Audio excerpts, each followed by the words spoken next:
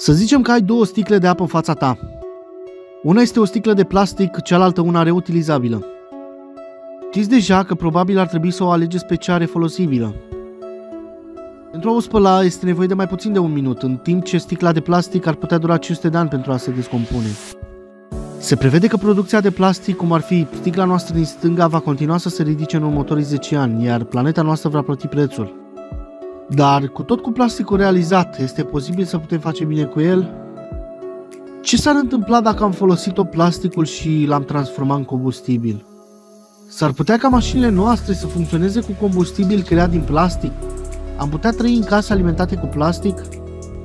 Cum am putea transforma plasticul în combustibil? Ne-ar ajuta? Și ar putea exista un dezavantaj? Plasticul a lovit scena în 1869, când inventatorul John Wesley a oferit ideea ca alternativă la fildeș. De ce? Ei bine, biliardul era în mare vogă și atunci furnizorii nu puteau ține pasul cu cererea de fildeș pentru a face bile. Așadar, ați putea spune că invenția plasticului a ajutat ecologic, mai ales pentru prietenii noștri elefanți. Dar de atunci, producția de plastic s-a dublat la fiecare 15 ani și continuă să facă acest lucru. Aceasta pune plasticul în vârful materialelor fabricate de om. Deci, cum am putea transforma tot acel plastic în combustibil? Este posibil să avem câteva opțiuni, cea mai populară fiind metoda pirolizei. Piroliza creează energie prin descompunerea materialelor organice prin încălzirea acestora între 400 și 650 de grade Celsius. Aceasta transformă materialele în combustibil, căldură sau electricitate. Să combinăm asta cu ceva numit plasma rece. Plasma rece produce electroni cu energie mare, care sunt deosebit de buni pentru a descompune legăturile chimice găsite în materialele plastice. Deci dacă le-ai avea, ai putea lua materialele pe care le tratăm cu deșeuri și să le transformăm în metan, hidrogen și etilenă. Atât hidrogenul cât și metanul pot fi folosiți ca combustibil curați, deoarece producția lor de compuși nociv este minimă. Acest proces ne-ar permite să dăm o nouă viață tuturor acestor deșeuri de plastic transformând-o într-o resursă valoroasă și punând-o la dispoziția industriei pentru refolosire. Dacă am fi capabil să o scoatem, ar face vreun bine?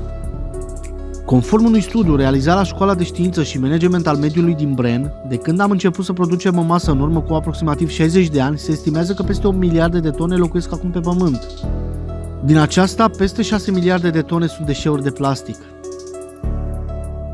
Până în anul 2015, mai puțin de 10% din acesta a fost reciclat, iar aproape 80% din acesta se află fie în depozitele de deșeuri, fie poluează mediul ca gunoi.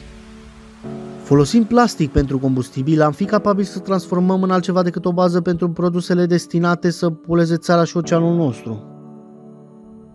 Consiliul American de Chimie raportează că instalațiile din plastic pentru combustibil din SUA ar putea crea aproximativ 39.000 de locuri de muncă și 9 miliarde de dolari în beneficii economice. Ar putea exista un dezavantaj? Una dintre obiecțiile primare pe care unii ecologiști o au este aceea că industria înșală oamenii.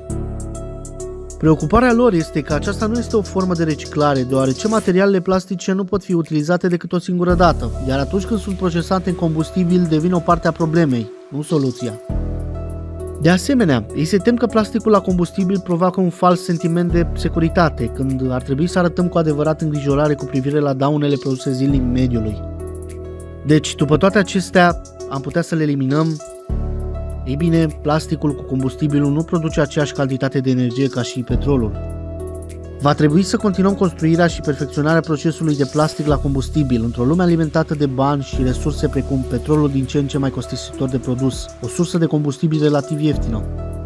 Dar ar putea fi ceea ce ajută la câștigarea industriilor în adoptarea acestei idei.